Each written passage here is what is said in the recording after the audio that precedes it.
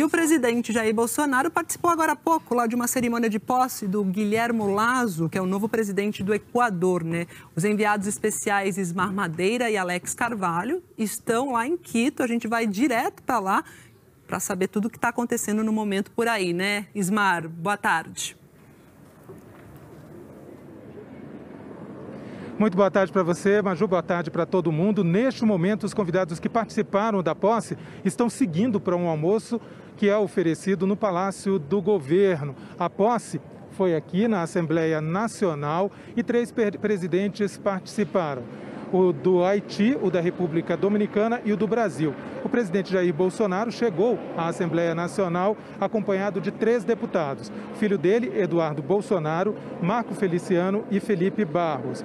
O presidente empossado aqui do Equador, Guilherme Lasso, tem 65 anos, é um ex-banqueiro e um político conservador de direita, mais alinhado ao presidente Jair Bolsonaro do que os seus antecessores. Nas últimas eleições, desde 2007, os candidatos de esquerda é que venciam a presidência aqui no Equador. A vitória de Laço foi uma guinada para a direita, mas o país está dividido. Tanto que um dos grandes desafios do novo presidente vai ser exatamente aqui na Assembleia Nacional, porque seu partido tem minoria entre os deputados e vai precisar aprovar projetos de governo. Além dessa articulação, outros desafios são a economia. A economia aqui do Equador encolheu 7,8% no ano passado. A pobreza aumentou muito. Para se ter uma ideia, em dezembro de 2019, 25% da população estava abaixo da linha da pobreza. Em dezembro de 2020, esse número saltou para 32%. Além disso,